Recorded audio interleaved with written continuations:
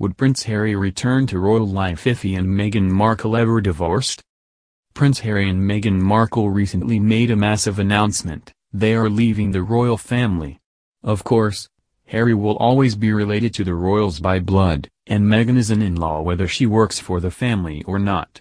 But the separation means that the two are essentially putting all of their eggs in one basket, with each other. It's not something anyone likes to think about, but these days, divorce is common. What would Harry do if he and Meghan ever split up? Harry has never liked growing up in the spotlight. When Harry lost his mother, he was forced to walk behind her casket as millions of people watched him.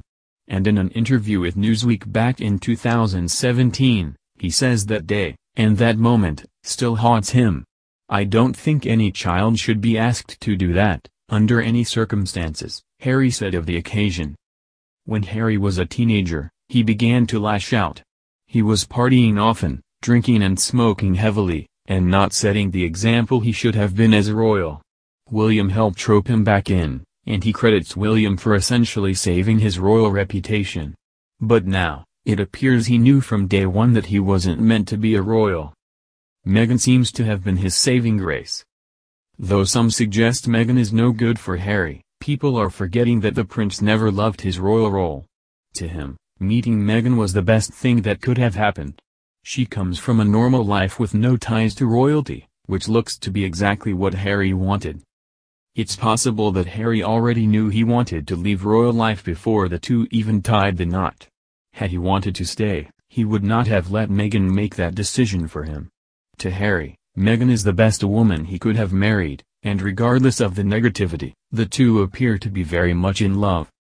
A divorce might see Harry back in the UK, but not necessarily as a royal.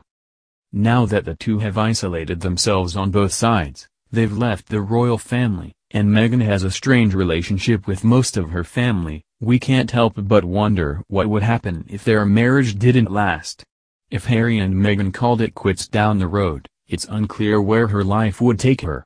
But Harry would most likely find himself back in the United Kingdom. Even if Harry moved closer to his family, though, it doesn't look like he would ever return to royal life.